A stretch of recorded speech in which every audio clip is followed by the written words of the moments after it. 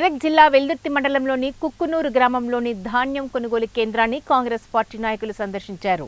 రైతుల సమస్యలను అడిగి తెలుసుకున్నారు. ప్రాథమిక వ్యవసాయ సహకార సంఘం చైర్మన్ అనంతరెడ్డి నిర్లక్ష్యం వల్లనే రైతులు ఇబ్బందులు పడుతున్నారని కాంగ్రెస్ నాయకులు ఆరోపించారు. హమాలీల కొరత కారణంగా ధాన్యం తూకం జరగడం లేదని తూకం వేసిన ధాన్యం తరలించడంలో అధికారులు నిర్లక్ష్యం వహిస్తున్నారని ఆరోపించారు రైతులు. రైతులు ఆందోళన చెందవద్దని ప్రభుత్వం రైతులు పండించిన ధాన్యాన్ని పూర్తి స్థాయిలో కొనుగోలు చేస్తుందని తెలిపారు అధికారులు. ఉన్నతాధికారుల దృష్టికి తీసుకువెళ్ళి రైతుల సమస్యలను పూర్తిగా పరిష్కరించి ధాన్యం కొనుగోలును పూర్తి చేస్తామని వారు రైతులకు భరోసా కల్పించారు. కార్యక్రమంలో మండల అధ్యక్షుడు మహేష్ రెడ్డి రాష్ట్ర ఫిషర్మెన్ కార్యదర్శి మలేష్ మాజీ అధ్యక్షుడు నరసింహారెడ్డి తదితరులు పాల్గొన్నారు. అది అందరు కలెక్టర్లకు కూడా ఆదేశాలు జారీ చేశారు కాబట్టి రైతులు ఎవరు కూడా భయపడవలసిన అవసరం లేదు.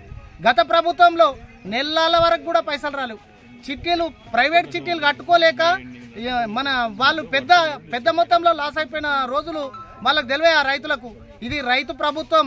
ప్రతి ఒక్కరు కూడా రైతులు ఆధారపడవలసిన అవసరం లేదు. రాబోయేది ఇక ఇంకొక ఆరు నెలలు ఏడు నెలల్లో మీరు ప్రజల వద్దకు కాదు కదా ఎక్కడ కూడా చిట్ట చివరి గింజ వరకు ప్రభుత్వం కొనుగోలు చేస్తామని ఖచ్చితంగా హామీ ఇవ్వడం జరిగింది.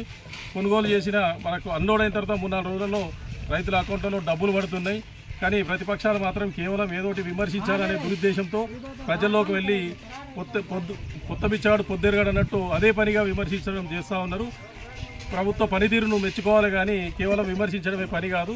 ప్రభుత్వం స్పష్టంగా ప్రజలకు హామీ మంత్రివర్యులు చొరవ తీసుకొని మన ఒడ్లు మన దగ్గర రైస్ మిల్ కొరత ఉంది కాబట్టి మన ఇక్కడ నుంచి మహబూబ్నగర్ డిస్టిక్ కానీ సిద్దిపేట డిస్టిక్ కానీ కమిషనర్ గారి లెటర్ ద్వారా ఈరోజు మనం నింపుతున్నాం.